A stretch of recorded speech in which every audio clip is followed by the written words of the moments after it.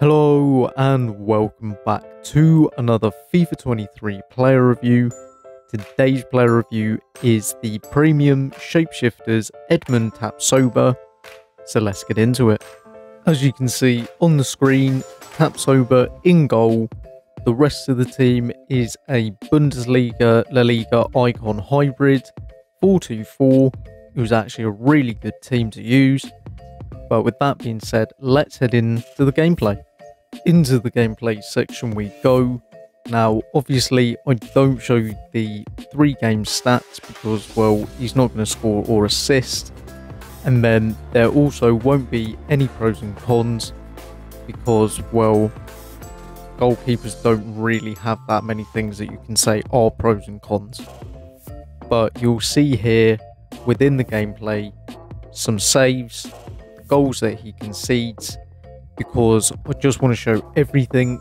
Obviously, I showed the different screen for the goalkeepers to actually show the proper stats. Now, with Tapsoba, he actually did make quite a few good saves, but then he also let in goals that were just unbelievably shocking.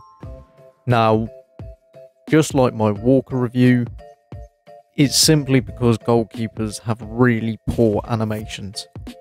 Now, the last game is actually where he performed the best.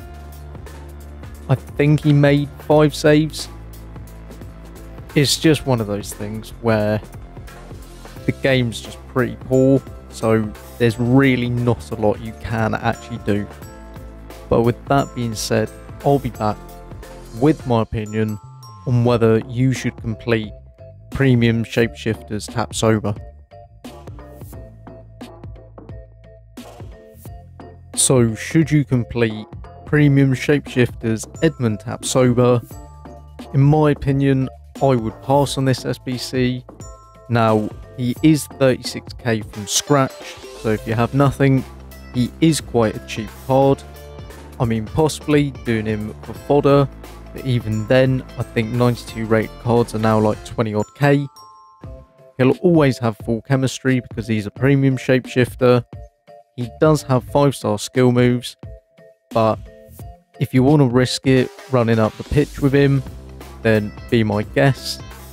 But unfortunately, just like Walker, he may be a fun card because he has played in goal before, but goalkeeper animations on FIFA are absolutely shocking. So he just isn't very good. I conceded far too many goals in three games, and it's just one of those things where goalkeepers, no matter who they are, are just really, really bad. I'd like to thank you all for watching this video. If you did enjoy it, drop a like, comment down below your thoughts on this Tapsoba SBC, and if you're new, hit that subscribe button to not miss out on any FIFA 23 content. But for now, I'll see you in the next one.